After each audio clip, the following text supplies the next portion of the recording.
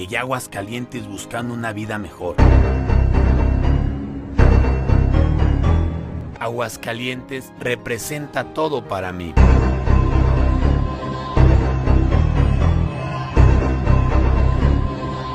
Como gobernador haré que el bienestar vuelva a tu familia.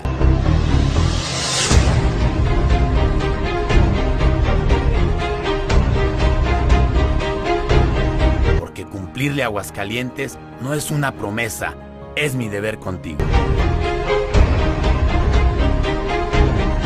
Ya me conoces, de que te cumplo, te cumplo.